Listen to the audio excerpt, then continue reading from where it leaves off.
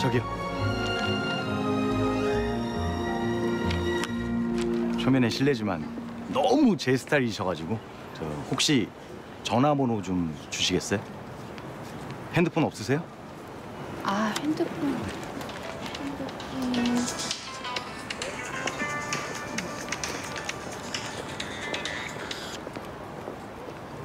야 심청 허준재.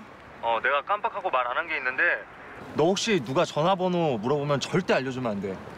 알겠어? 왜? 왜는 그런 놈들 다 나쁜 놈들이니까 그렇지 너 깨무는 거 잘하지 그런 놈들 찝쩍대면은 그냥 확 물어버려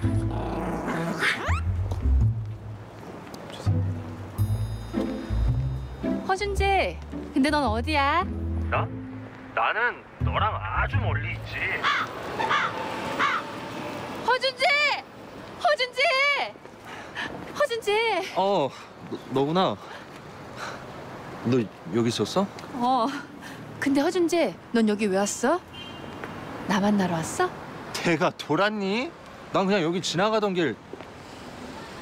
너야말로 나 쫓아온 거 아니냐? 어, 나 아닌데. 진짜 아닌데? 하긴 원래 서울이 커 보여도 원래 손바닥만 해. 이렇게 한 바퀴 돌면 뭐 웬만한 사람들은 다 만나고 그러는 거니까 우연히 만날 수도 있는 거지. 그럼 또 우리 우연히 만날 수도 있는 거야? 글쎄, 뭐 그건 두고 봐야지. 아무튼 난 바쁜 일이 있어서 이만. 허준재.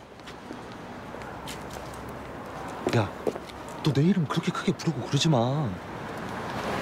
허준재, 나 여기서 돈 벌어. 내가 돈 많이 벌어서 너 다 줄게.